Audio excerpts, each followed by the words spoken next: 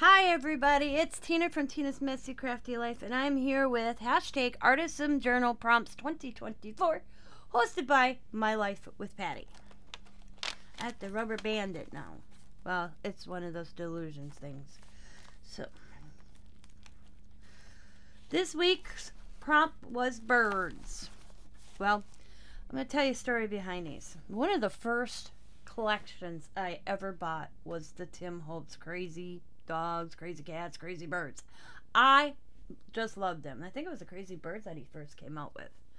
So I got them out, and I can't stamp because my palms hurt. So um, Scott was nice enough and stamped them out for me.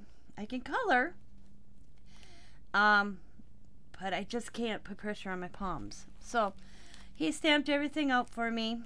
This is a stencil going along the top.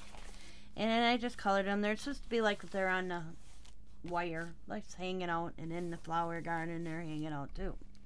So that is my bird prompt for, uh, what week is this? Week 19. Yeah, right? Yeah, yep, week 19. So I want to thank you guys for watching. Go check out everybody else. As, as always, be happy, be kind, be safe, be funny, be crafty, and bye for now.